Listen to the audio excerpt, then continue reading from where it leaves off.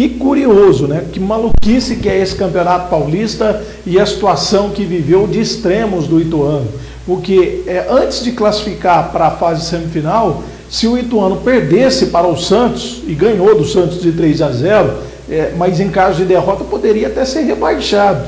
Ele não só não foi rebaixado, como garantiu uma vaga na semifinal e agora está brilhando na Copa do Brasil também. Que coisa, hein, Kinder? Cara, como tudo pode mudar no futebol, né, Samuel Sintra? É uma coisa que realmente, como você bem colocou, uma situação que poderia levar o time ao rebaixamento, leva uma classificação às semifinais do Campeonato Paulista, depois de ter ganhado do Santos, bateu o Corinthians na Neoquímica Arena nos pênaltis e ainda faz o time avançar ainda mais agora na Copa do Brasil, vencendo em casa também nos pênaltis a forte equipe do Ceará na noite de ontem.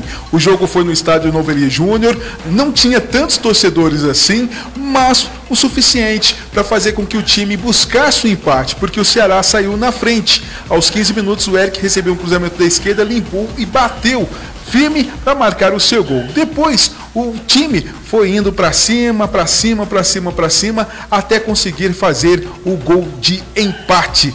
Bom, as duas equipes fizeram uma boa partida para delírio mais o torcedor da equipe do Ituano, que nas penalidades viu seu goleiro brilhar mais uma vez. Ele não só, o Igor, pegou um pênalti, como também novamente cobrou um pênalti e marcou aí, portanto, um dos gols que deu a classificação à equipe do Ituano. Lembrando que o último jogador da equipe do Ceará acabou chutando por cima do gol e aí a equipe da casa fez a última cobrança merecida classificação para o Ituano, viu, Samuel Sintra? É um time do interior aí que está se destacando, como a gente já viu em outro ano, já viu, a gente já viu São Caetano, viu nos anos 90 o Mogi Mirim comandado por Vanderlei Luxemburgo, quando ele surgiu para o estrelato, né, como técnico no futebol brasileiro. A gente já viu outros clubes aí fazer a diferença. O próprio Red Bull Bragantino, que hoje é uma das forças do futebol paulista, e agora o Ituano esse ano fazendo uma brilhante campanha, viu, meu amigo? Pois é, parabéns aí. Na Copa do Brasil não é só o fato da classificação, né?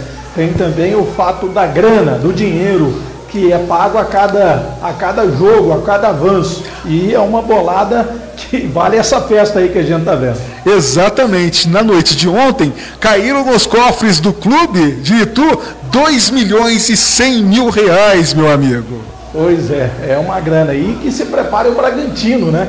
Que é o adversário do Ituano na semifinal. Exatamente, ambos vão se. Aliás, não, o Ituano pega o Palmeiras na semifinal e o Bragantino recebe o Água Santa. Ah, tá certo, é verdade. Por falar no Bragantino. Então é pedreira, maior ainda do Ituano. É verdade, fiz confusão. Exatamente.